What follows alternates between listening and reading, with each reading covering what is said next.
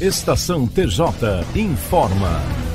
O Tribunal de Justiça de Mato Grosso encerrou as atividades do mês de agosto com redução da taxa de congestionamento em quase 38%, um aumento de 7% na produtividade quando comparado com o mesmo período de 2019. A taxa mede o total de casos novos que ingressaram, os casos baixados e o estoque pendente que tramitou no período. Para manter o fluxo dos julgamentos, algumas inovações foram adaptadas no judiciário, como teletrabalho durante o período de pandemia. De acordo com o relatório Justiça em Números 2020 do Conselho Nacional de Justiça, entre os tribunais de médio porte, Mato Grosso é o que apresenta a maior quantidade de casos novos por magistrados no segundo grau, em média 1.634 para cada um, enquanto os demais tribunais do país é de 1.429. No estado, a grande maioria das ações no segundo grau já tramitam pelo sistema do processo judicial eletrônico, PJE, garantindo maior rapidez na prestação do serviço. O relatório também aponta o primeiro lugar no Justiça em Números para o Tribunal de Mato Grosso, com 1.520 julgamentos, enquanto a média estadual é de 1.471.